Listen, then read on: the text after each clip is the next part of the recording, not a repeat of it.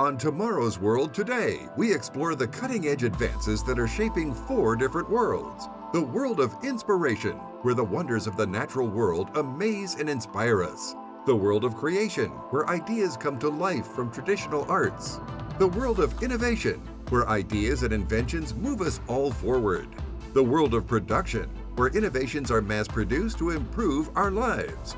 From Inventionland World Headquarters, here's your host, George Davison. Hey, everybody. Today, let's talk about something that's had a huge impact on American culture since the 1950s pizza. The first pizza chains popped up in the 1950s, and they've been a staple in American culture ever since. And just when you didn't think pizza could get any better, well, imagine a world where your pizza is made not by a human anymore, but by a machine. They're building a world where the perfect pizza is just a few taps away on that smartphone of yours. It's not just a dream anymore. Autonomous pizza technology is already here, and it's changing the game for pizza lovers everywhere. Every step of the process, from rolling the dough down the production line to delivering it to your door, can be fully autonomized meaning your pizza will be cooked to perfection every time. Thanks to autonomous pizza making technology, large corporations can make and deliver delicious pizza at an incredible pace. And with this autonomous pizza preparation, chefs can focus on creating new and exciting recipes to please even the pickiest of us eaters out there. So I'm gonna send Greg to the world of innovation to explore the future of pizza making, where technology and tradition come together to make the perfect pizza every time. Americans love pizza. As a matter of fact, the average American eats almost 23 pounds of pizza a year.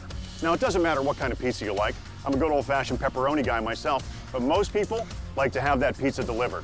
And that's why we're here at the Domino's Supply Chain Center in Merrillville, Indiana, to learn about their innovative logistical system that helps them to deliver 90,000 dough balls to over 300 stores across five states every day. Let's head inside now and talk to Andy James. He's the Senior Director of Supply Chain Operations, and Noe Fuentes Aguilar, who's the Senior Manager of Supply Chain Operations for Production, to see how all this is done. Hi, guys. Hey, Greg. Welcome to Domino's in the Indiana Supply Chain Center. Thank you very much. I'm excited to be here, and I cannot wait to see how you guys actually pull off these numbers. Well, we do a lot of stuff out of here, including making 950 deliveries a week and making over half million dough balls. Wow, that's excellent. Now, what are the five states that you service? Out of this location, Indiana, Illinois, Wisconsin, Iowa, and a little bit of Nebraska.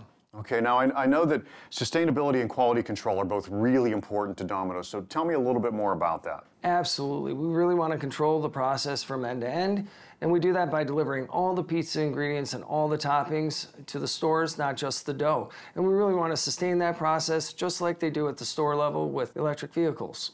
Excellent. Well, I'm ready to get going. What's the next step? I'm going to hand you off to Noe. He's the production expert. And he's going to show you around. Greg, are you ready to make some dough? Absolutely. Greg, so here's where all the dough making process begins, by the receiving of flour. Okay, so how much flour is in this vehicle? 50,000 pounds. Wow, now where will you store that much flour?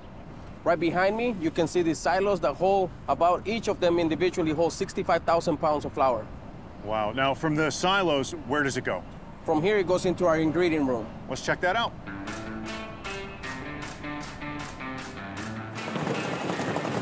Well, Noe, here we are. It's, this is the ingredient room, right? Yes, it is.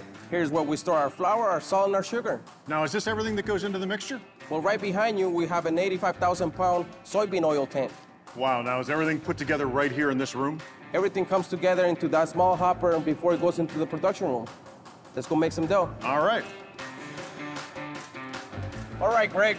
Those ingredients that we just saw travel through those pipes right above us. In addition, at this point, we also introduce our premix and our yeast manually. At this point, we use a conveyor system right behind us that takes our butter into our mixer station. Okay, show me how the mixer works. Let's go there.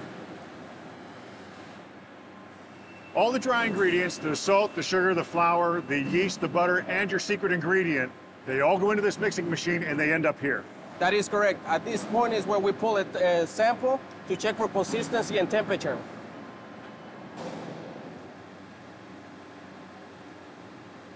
Right on target.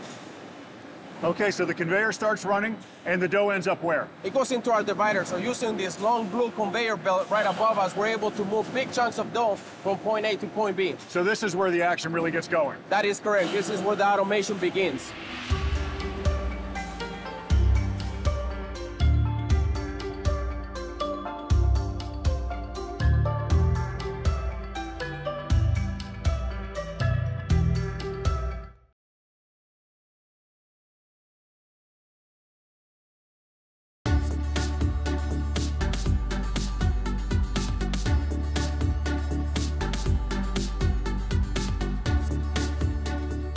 I'm at the Domino's Supply Chain Center in Indiana to explore how they are revolutionizing the pizza delivery process.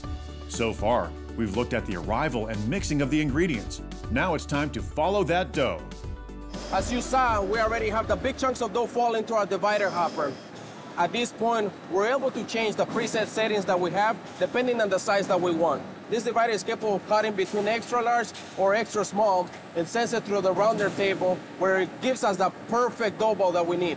So how do you check for that consistency? Great question, Greg. So we have two critical pieces of equipment right in front of us. We have a check weigher that checks for consistency of the dough ball, but we also have a metal detector to ensure that we don't have any foreign material in our product. Right, safety is paramount. 100%. Now, as we move along the conveyor here, I see we're getting towards some pretty cool technology.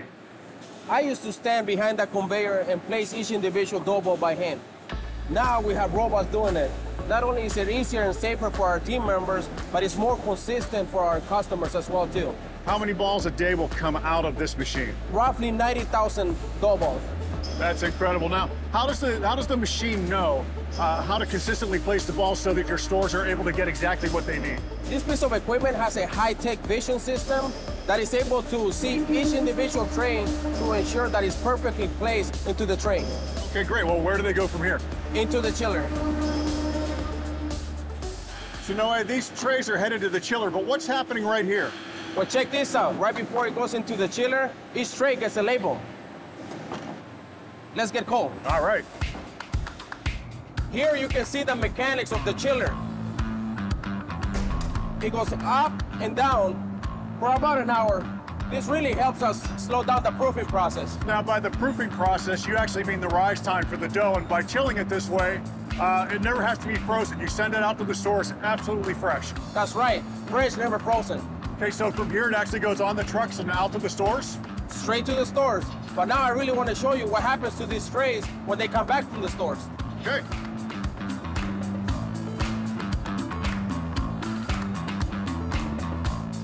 No way. This is a this is a pretty extensive operation. Clearly, reusing these trays is a big part of Domino's efforts towards sustainability. That's right, as you can see right behind you, that's our trucks coming back with trays. Over 10,000 trays make it through those conveyors daily into our tray washer where they get washed, cleaned, and sanitized and ready for production. Now let's go meet up with Andy. Welcome, Greg. Thanks, Andy. Noe, thanks a lot, man. Have This has been awesome. All right, Andy. So now, the logistical system that Domino's has put together in order to get your products into the stores is really impressive, and I want to know exactly how it works. So every day we take orders for about 150 stores, and we have about 150 different products other than just dough that comes out of the center. So all the pizza ingredients, all the pizza toppings, everything that is in a Domino's store they get from us. Now, in order to do that, we have to pick it and load it efficiently. Part of what helps us is using these carts over here. Everything comes on wheels. Now, once everything gets picked, as you can see here on the floor, we have all these staging lanes lined up. They're numbered 1 through 15. So 1 equals the first stop or the first store on a route, and 15 would be the, the 15th store on a route. All right, so what's the next step in this process? Really glad you asked, Greg. Got a couple more carts here that need to be loaded and then delivered to the store. So, it'd be great if you help with that.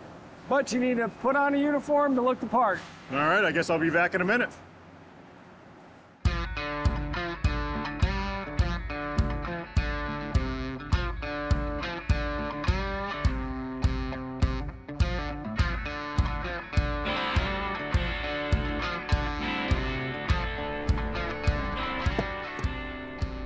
Carlos, you ready? Yes, sir. Ready to make some deliveries? Absolutely. Let's go. Thank you for loading the truck as well. you got it secured, right? Absolutely. Oh. Everything's tied down and everything is safe. I think we'll be good. Awesome. Where are we heading to first? Wisconsin, uh, we'll be up in Kenosha, Okay. and we'll be working our way down from Kenosha down, How many deliveries do you make in a typical shift? anywhere between uh, 10 and 12. Okay. 10 and 12 deliveries. The beginning of the week will be a lot lighter Uh-huh. versus the end of the week. Obviously, uh, Domino sells a lot over the weekend. About how many trucks go out every day? I think they're up to uh, 50 drivers now. Wow. Yeah, it's And that's just from this center. that's just for this center. Yeah, there's always a truck on the way there to make sure you get your pizza, right? Absolutely.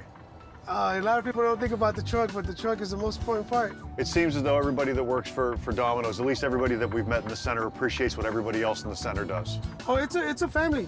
You know, we all we all everybody gets along. We all work together to make things better.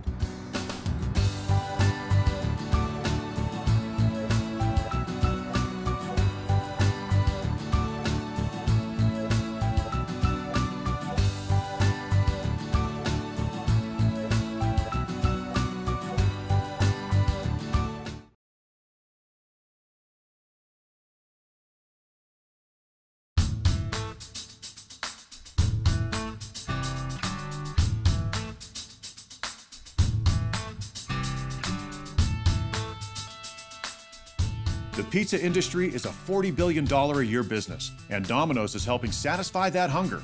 I'm heading from the supply chain center to the Munster, Indiana Domino's store, where we are going to drop off everything they need. We'll set them up right here. All right. Well, Greg, you did a great job. Thanks for the help. Thank you, Carlos. You ready to make some pizzas? I am. All right, well, Brittany will take over. All right, Brittany, let's get going.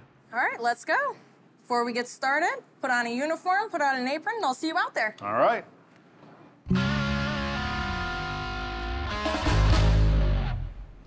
Okay, so teach me how to make a pizza. Awesome. First, we're gonna get the cornmeal out. So if you wanna get a little scoop and All set it right. right up here. Perfect. Next, we need the dough. All right. So we're gonna coat both sides in this cornmeal here. All right, then we're gonna start creating our edge. So you're gonna hold your fingers together like this. And then about a half inch from the edge, you're gonna go around, we're gonna create that pencil thin rim. And then now we can go into the stretch. So you're gonna cup your hand and then stretch with your other hand. So keep going until we're at the size of about a medium screen, which is 12 inches. So we're gonna drape it over the back of your hand, just like that. Get a good grip on that center underneath it, and then drape it right over your screen. Let's get some sauce on it. So we're gonna take this spoodle here, which is basically just a flat bottom ladle, dump that sauce right in the center. You're gonna hold it down flat and firm, and spread it out so you get to about three quarters of an inch from the edge. There you go. All right. Flat and firm. Great. Let's get to the cheese. All right. All right, so we're gonna weigh out five ounces of cheese here. We hold our hands high up so we can get really good coverage on the cheese here. Gotcha. Awesome. We know how much pepperoni to put on here by looking at this job aid right here. Doing a beautiful job. You did that way faster than I'm doing it. I believe in you. Excellent. All right. Set yours right next to mine. If we were clearing these off the screen right now, we would just hit this carry out clear item or for delivery clear item over here off these bump bars. And six or seven minutes later, we have fully cooked pizzas on the other side of the oven. Exactly.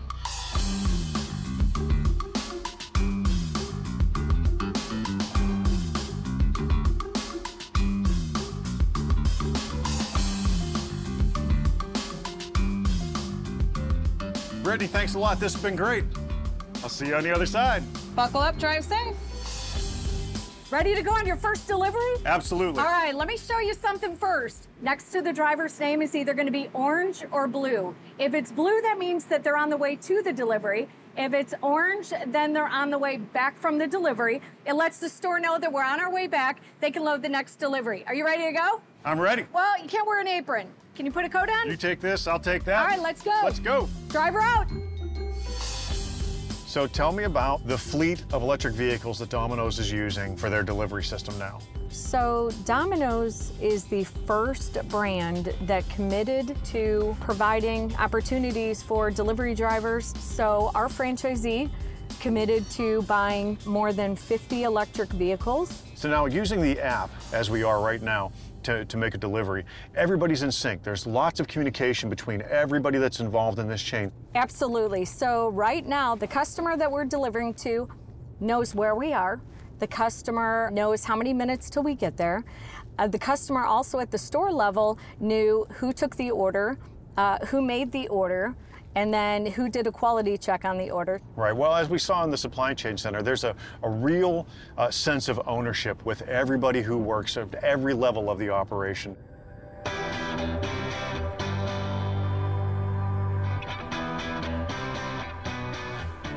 Here we go, Carol.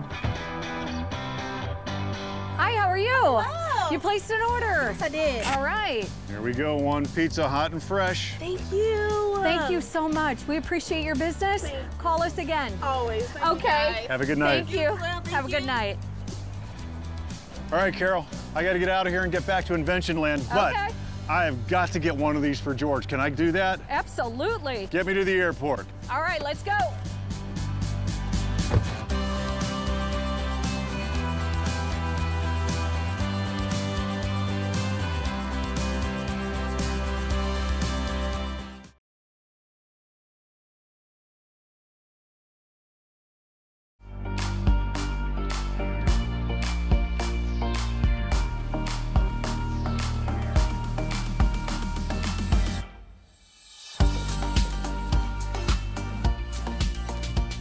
Hi, Kate. Welcome to Inventionland. This place is amazing. Thank you. Please have a seat. Thank you. Well, I'm hearing some great things about what's going on in Indiana. This new supply chain center. Yes, our new supply chain center in Indiana is state of the art technology. We're doing incredible things. We even have robotic arms that make the process more efficient. And you got it, it's right here. It's driving efficiency and just a better experience for our team members. Hmm. We also have a spiral chiller, Okay. which allows us to do the perfect proofing and bring the temp down on our dough. It's pretty incredible to see. It's four times faster than when we used to do it manually. So you're not freezing dough and shipping it all over the world? Never frozen, always fresh dough from Domino's. That's great to hear. We also have been working hard to get the word out about a myth that we need to bust, which is that you can't recycle pizza boxes when there's grease on them or there's food left over. And I'm here to dispel that. You can still recycle those boxes. We've done the research, it's absolutely fine. Well, that's good to know because I thought that, I believe that myth. So You're not alone. I'm glad you know now. I will recycle from now on. That's great. Awesome. Now, I'm also hearing some whispers about this new pinpoint technology. What's that about? Yeah, the rumors are true. We've been working hard on developing technology where you can drop a pin almost anywhere you are. Think if you're at the beach, or you're at a campground, or you're at the park and there's no address. Now you're gonna be able to drop a pin and our delivery driver will deliver right to you. That's great. I get hungry just about anywhere, so that's good. Me too. All right, so uh, maybe you could look into the uh, the pizza crystal ball there and tell me a little more about the future of pizza manufacturing and delivery. That is so cheesy, but I'll go with you. Uh, the future of uh, pizza and our operations and delivery is very bright. I see a lot of opportunity in logistics and efficiency and automation. Also, see a lot of opportunity in unleashing our data to do more predictive analytics and really kind of predict what consumers want. And everything in the delivery space from automation and you know selfless driving cars i think that's the future. And my gosh maybe we'll even be doing drone deliveries one day to again be relentless about delivering the best customer experience. Well, I can see you have the future firmly in your hands there, Kate. I have a question for you though. ah what's your question So, did you just ship me a box? i did i'm so glad it came It did, and it has one of these in here. Yes, this is a car topper. It is an innovation Domino's came up with years ago, right? Other places, taxi companies and pizza companies use them today, and it lights up. It's kind of cool, right? It is really cool. I, I'm going to put it in our museum. Fantastic. Well, I've got to get out of here, but I wanted to also bring you Domino's for lunch. I have some pizza for you in our newest product innovation. Okay. Loaded Tots Philly cheesesteak flavor. Ooh, that sounds Yeah. good. So I got to catch a plane, but great Thanks, to Kate. see you. Thank you. Safe travels. Thank you. Oh, look at that.